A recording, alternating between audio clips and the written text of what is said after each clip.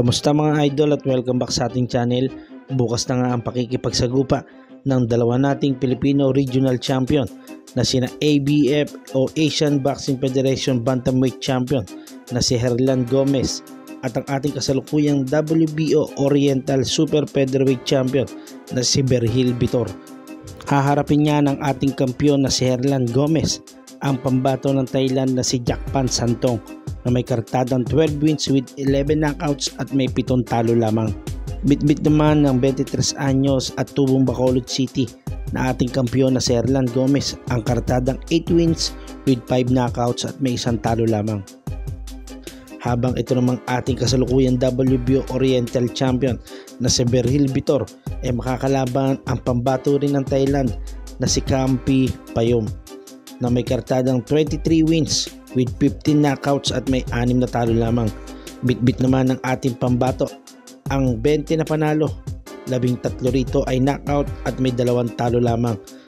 Paglalabanan niya ni Berhil Vitor at Campi Payom ang bakanting WBC Asian Silver Super Featherweight title. Dedepensa naman ng ating kababayan na si Herlan Gomez ang kanyang titulong Asian Boxing Federation Bantamweight title.